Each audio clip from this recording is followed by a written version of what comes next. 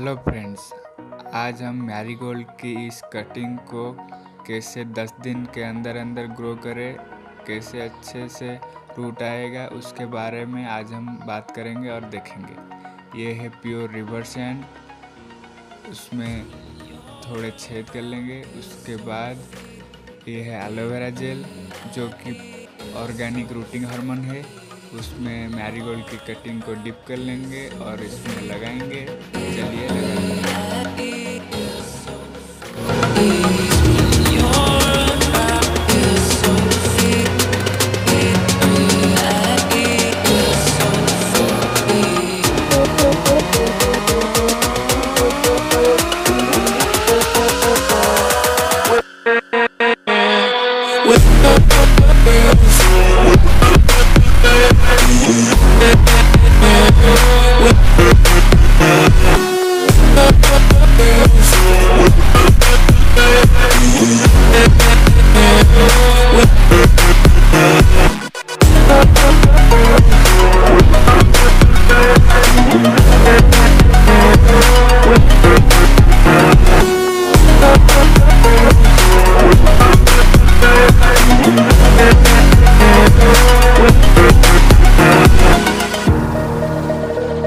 इसमें पानी डाल के 10 दिन के लिए सेमी सेड एरिया में रख देंगे और 10 दिन के बाद हम उसका अपडेट देंगे।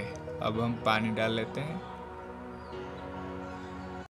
यह है 10 दिन बाद का अपडेट। चलिए उखाड़ के देखते हैं। ये देखिए कितना अच्छा रूट आया है, कितना लंबा लंबा रूट आया है और सबको भी उखाड़ के देखते हैं।